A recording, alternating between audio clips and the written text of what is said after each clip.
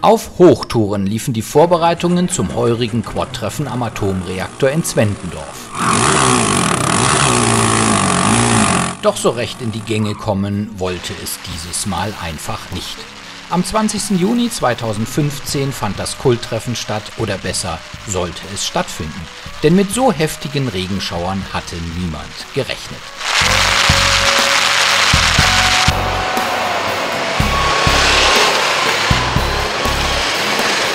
Dabei hatten sich gar nicht mal so wenige Tapfere auf den Weg an den einzigen Atomreaktor Österreichs gemacht. Insgesamt dürften es rund 100 Pilotinnen und Piloten mit etwa 40 Fahrzeugen gewesen sein.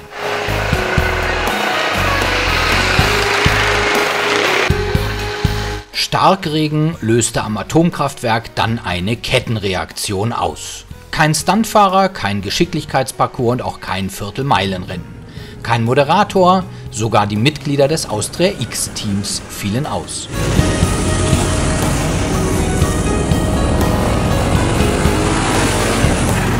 Viel mehr hätte wohl kaum schieflaufen können beim Quad-Treffen am Atomreaktor 2015.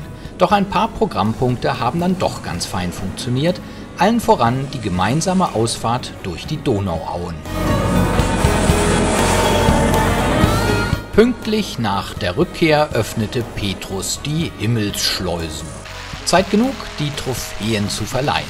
Dabei konnten 17 Mitglieder des Quadclubs Neusiedl den Pokal für die größte angereiste Gruppe entgegennehmen. In den Pausen der ersten Regenbogenparty am Atomkraftwerk ging sich dann durchaus auch ein bisschen Spaß aus.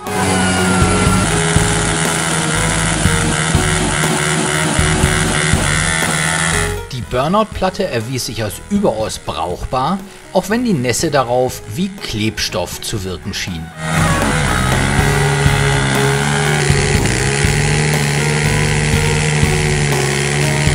Was bei all dem Regen natürlich richtig klasse funktioniert hat, war die Schlammgrube, die sogar mit automobilem Quert ergründet wurde. Allerdings mit wenig Erfolg. Gut, dass Martin Sojak vom Quad-Händler XDW in Zwentendorf einen dicken Dodge sein eigen nennt. Wobei man fairerweise sagen muss, dass es beim sechsten Quad-Treffen am Atomreaktor auch die ATVs nicht ganz einfach hatten in der Schlammgrube. Vor allem, wenn man den Haken der Seilwinde nicht rechtzeitig höher gelegt hat. Zurück zum Thema, dem Starkregen heute, der die ATV- und Quad-Piloten in gewisser Weise dazu bewog, sich auf dem sechsten Quad-Treffen am Atomreaktor in ein Öffi zu bewegen. Wenn auch ein ausrangiertes, den Partybus von Offroad-Legende Gerhard Muth nämlich.